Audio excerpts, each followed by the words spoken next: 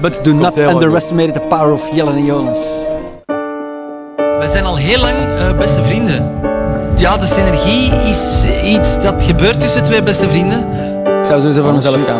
Ja, en nee, zeker. Jelle ze helpen nee, zeker niet. Ieder voor zich in de oorlog. En het lijkt of alles donker wordt Als je wordt weggeveegd En je Ik hou van jou alsof je mijn broer was. zijn ingestort het maakt je radeloos, je voelt je moe en boos Je had een valse start Weet je wat het voordeel is waarom we al zo lang samenwerken?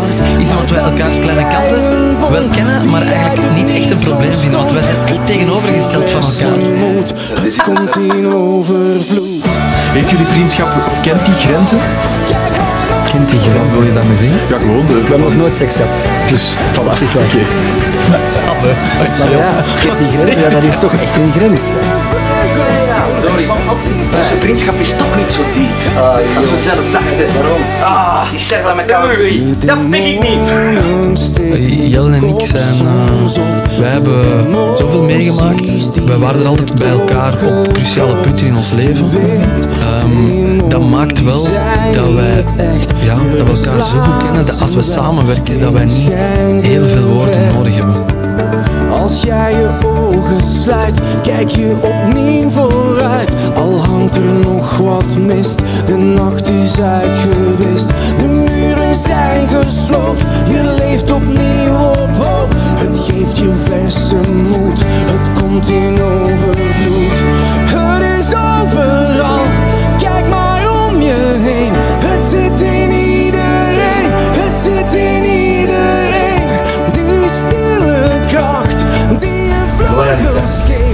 Meest loyale vriend dat je het.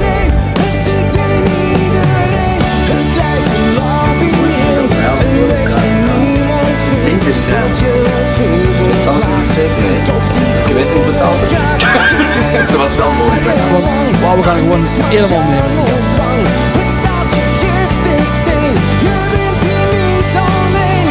Maar verder is Jelle een geweldige Peter en ik zou me geen betere Peter als Jelle kunnen vinden. Het zit in iedereen.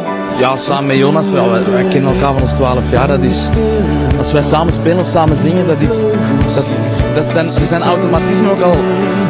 Al doen we dat, dat er niet voor, maar ja, dat is gewoon zalig om samen dit te kunnen, te kunnen